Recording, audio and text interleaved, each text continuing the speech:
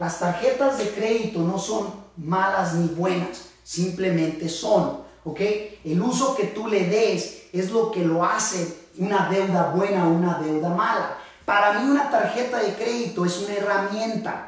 Con, e, con esa tarjeta de crédito, por ejemplo, es más, tengo aquí literalmente algunas tarjetas, ¿ok?